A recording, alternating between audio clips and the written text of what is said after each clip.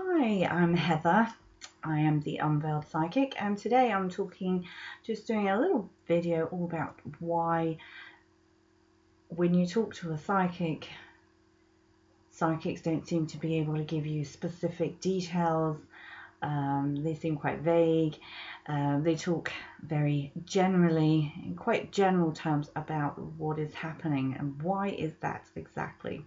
Well, first of all, you have to understand um, how psychics get their information. Where are they getting it from? Um, now, if they're using a tool like a tarot deck, they're using a deck of cards, for example. Um, now, tarot is interesting because obviously each card has a meaning, but as you can see, if they are an intuitive reader, they're dealing with images, they're dealing with pictures. Um, if you're dealing with someone who's clairvoyant, they are dealing with images, they are dealing with pictures. So, how they get the information is basically an image in their head that they then have to interpret for um, for the person they're reading for. Um, so, I'll give you some examples. Um, I just did a reading for a lovely, lovely lady, and one of the images that I had to give to her was a sweet. Um, now, I do get this sometimes where I will get an image of something and then I have to try and interpret, decide what that image is, what it means for that person in particular, what it's relating to. Um, so, long and short of it is, it's up to the reader to interpret the information they're getting. Now, there are actually eight different psychic senses.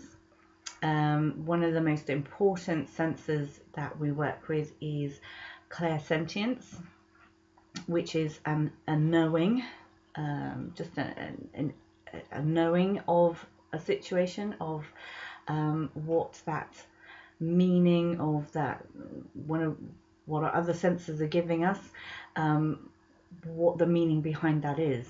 So with something like a sweet, it could be specifically the sweet. For example, I had um, I was shown a packet of polos once um, to give to someone I was reading for.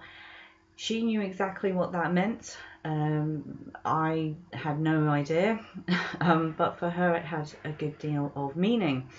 Um, so sometimes the reader, uh, the person you're reading for, the sitter, will know exactly what you're talking about, what the reference is. Um, this is more true in mediumship than with psychic readings. With psychic readings, it's a bit different. It's up to the psychic to interpret the uh, message, to interpret the meaning of what they are getting. So sometimes um, you might get specific information like a day of the week, a month. Um, you might get uh, a name. For myself, some people will always get a name. Um, for me, it's it varies. It depends on who I'm reading for. Um, if I'm working as a medium, it depends on the spirit, what information they give to me. Um, so it, it, does vary. It does vary reading to reading. Um, so um, when you're working, so I'm clairvoyant, so I work predominantly with um, sight, with using my third eye, but I also get, um, sometimes you might get smells, tastes, sensations, physical sensations in your body, and sometimes you know the meaning behind it. That's where the clairsentience comes in. Sometimes you just have to give that information as it's coming through because it might mean more to the person that you're giving the message to. Um, so I had I had one recently a couple of weeks ago. In fact, this lady, uh, I could just see her toes. I could see her toenails. So I just had to say to her, I don't know why, but I have to talk to you about your toenails. Um, and it, she actually had an ingrown toenail. Um, so that's not what I was feeling, but I was being shown it. Uh, so sometimes you do just have to go with the flow, go with what you're given, go with what you get. Um, so if you're learning, if you're developing, uh, we're all still learning, we're all still developing.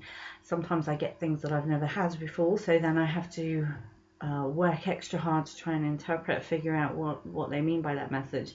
Um, so that's one of the reasons that we are not always specific. Like, um, you know, if you're re- ringing or wanting to find out about a particular situation, we cannot always give you specific dates and times because another thing is everybody has free will, everyone has freedom of choice.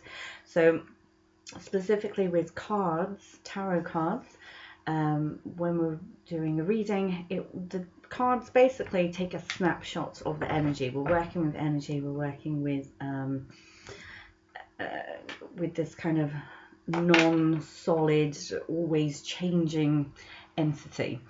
Um, so when we're working with cards, they, they kind of they take a snapshot of the energy at that time, that moment that you're asking the question that we're focusing in on, and then we have to look at uh, the interpretations. You can do it just by reading the cards, interpreting the cards, and the meanings behind each card, or you can do what I do, which is to look at the image and see uh, basically what is the most important piece of information that your sitter, your reader, uh, the person looking for messages, the guidance, what they need to know at that precise moment.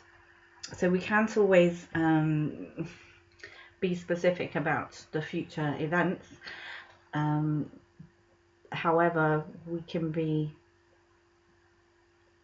open and honest and tell you exactly what we're getting, and then it might make sense. Hopefully, it will make sense to the person later on if they remember what you've said.